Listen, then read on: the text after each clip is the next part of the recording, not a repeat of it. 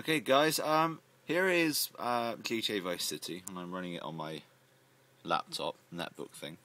Um, let's let this load because it takes quite a while to load for some reason. It's PC version, so um, let it load. It 2002, 2003. It runs really good on my PC. Uh, there's a bit of slowdown sometimes. Hello, just zooming on this. Alright, okay, here it is. Um, I'll just go up to um, start game. There we go and go to load. That's the first one. Yeah. Now, uh, as you can probably tell, my hand is not on the mouse. I didn't touch anything.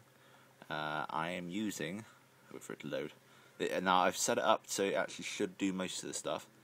I am actually using a PS3 controller. Uh, it's plugged in via my. Let's get this here is in view. Um, Alright, okay think you can see both of them at the same time, probably not. So as you can see the camera works okay.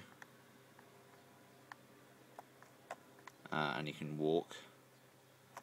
Um, and also I've set it up so he should, if I press Y, or no, well not Y, I'm thinking of the Xbox.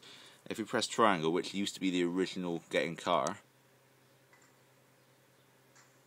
you get in the car. Um, that's a radio on there.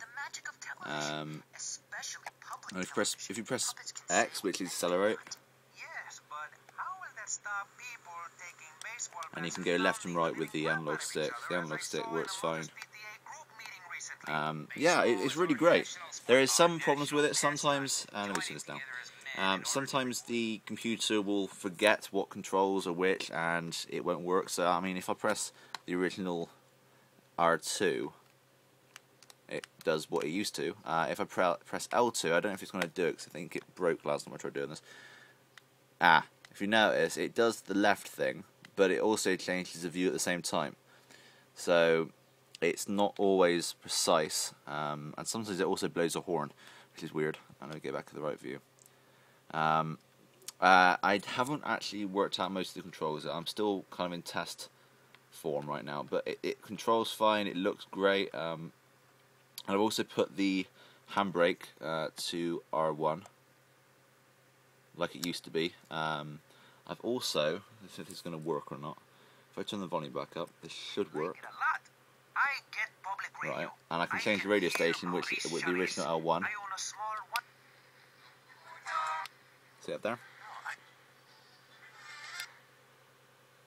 Now my favourite is either Emotion or Flash FM. Pass that. Here. Gotta love the 80s. um, yeah, although that guy just fell over. Or woman. Bit random. Okay. So yeah, uh, it's I'm not going to say that this is easy. And again, she just fell over. She's not very good on those rollerblades. Oh, she was watching to a lamppost. That was funny.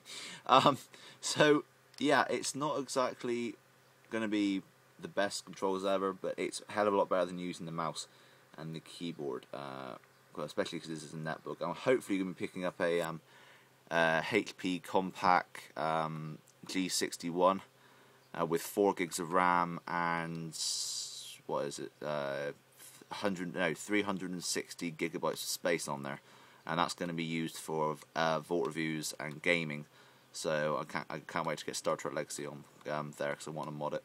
Um, yeah, so this is if you look up online PS3 um, SixAxis with PC. There's a, quite a few tutorials and everything up there. Um, you have to update drivers and put drivers in there because normally the PS3 controller wouldn't actually work with it. You have to download certain drivers, which is kind of a, takes a long time to do uh, to find them anyway. When you, once you get them, it takes about five minutes to set it all up.